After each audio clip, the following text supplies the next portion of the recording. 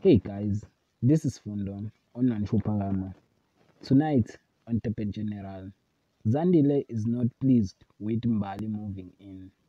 He asks Lindelani why he accepts Mbali to move in with Tabo, while he knows that he live with Tabo.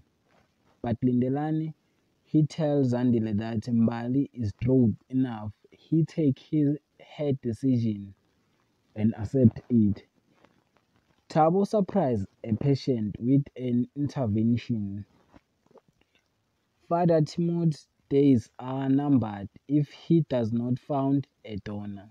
That is for tonight. Thanks for watching. Don't forget to like and comment and subscribe. Therefore, thanks.